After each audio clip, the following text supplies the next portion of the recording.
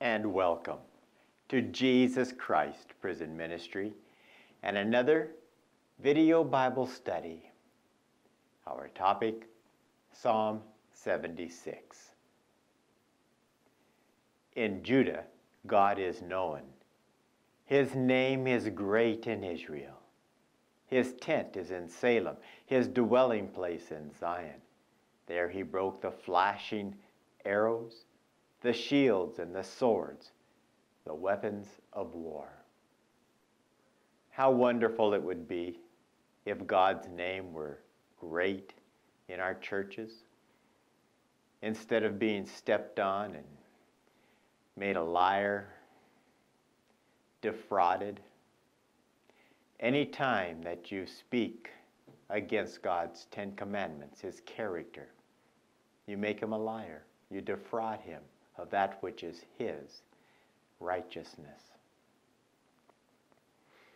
You are resplendent with light, more majestic than mountains, rich with game. Valiant men lie plundered. They sleep their last sleep. It Doesn't matter how strong we think we are, how important we are. God is above all of that. He can humble us in a minute. He can make us sleep the last sleep. Not one of the warriors can lift his hands.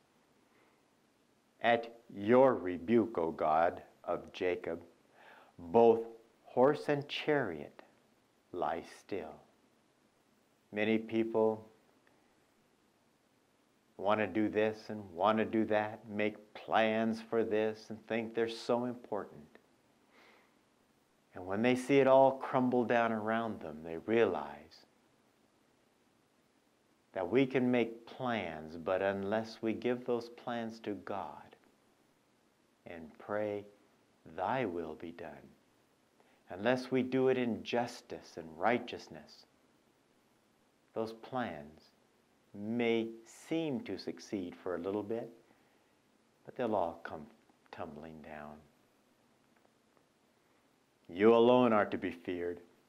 Who can stand before you when you are angry? Hmm, nobody.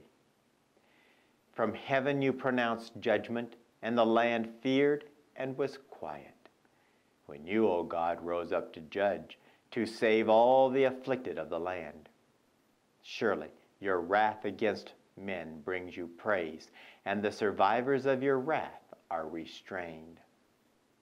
Yes, once we've been humbled by the Lord, you begin to realize that there is no power outside of God that can compete with God. We're not here to compete with Him.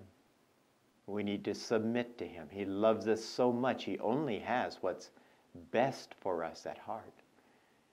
All we have to do is humble ourselves and accept what His plan is for us. Make vows to the Lord your God and fulfill them. Let all the neighboring lands bring gifts to the one to be feared. He breaks the spirit of rulers. He is feared by the kings of the earth. Oh, if that were the case today, there would be no wars and no uprisings and no jihad and no mass shootings, no pain, no sorrow if the rulers of the world feared the Lord. If they would put his Ten Commandments into their heart and live it and produce laws in their lands that would replicate the Ten Commandments we would be at peace.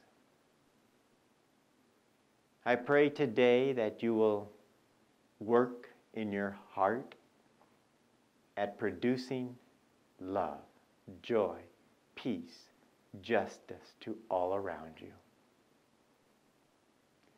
Thank you for being with me and Jesus Christ for another video Bible study.